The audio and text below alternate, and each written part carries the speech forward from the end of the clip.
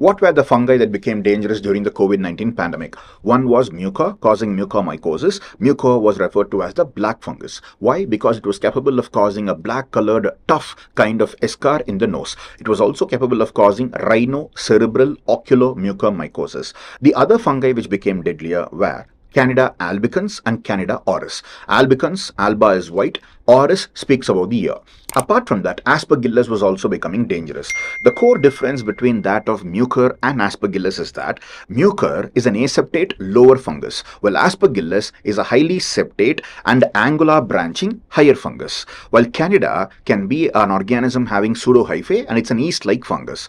When there was a very liberal use of Blanket immunosuppressive agents like high-dose methylprednisolone, local immune suppression were capable of causing these organisms to become dangerous. Also, apart from using industrial grade oxygen cylinders which were also capable of spreading the spores of these organisms. That's why these four organisms became dangerous during the COVID-19 pandemic.